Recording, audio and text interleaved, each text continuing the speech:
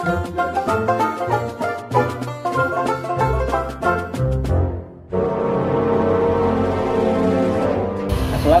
warahmatullahi wabarakatuh. Berjumpa lagi bersama saya Mbah Herusti dari Klinik Fatih Dengar School Kali ini kita akan membicarakan tentang manfaat sayuran dan buah-buahan Untuk mencegah penyakit tidak menular. Seperti kita ketahui bahwa ada penyakit menular Seperti demam berdarah, tipes, malaria, dan lain-lain.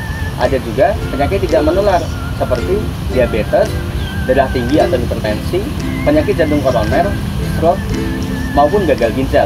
Dilansir dari website P2PTN Kementerian Kesehatan Indonesia, bahwa penyakit tidak menular mulai ditemukan di usia muda dan produktif, yaitu pada usia 15 sampai 64 tahun.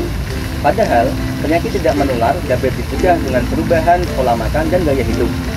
Perubahan pola makan yang dimaksud di sini adalah dengan memperbanyak makan sayuran dan buah-buahan. Berapa banyak kita dianjurkan untuk makan buah-buahan dan sayur-sayuran dalam satu hari?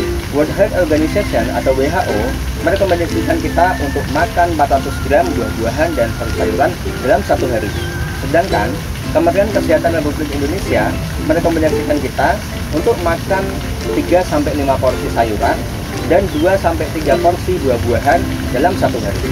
Kementerian Kesehatan Republik Indonesia menghimbau seluruh masyarakat untuk menerapkan pola makan dan gaya hidup sehat guna mencegah penyakit tidak menular melalui gerakan cerdik, yaitu cek kesehatan berkala, menyahkan asap rokok, rajin aktivitas fisik, diet seimbang, istirahat cukup, dan kelola stres.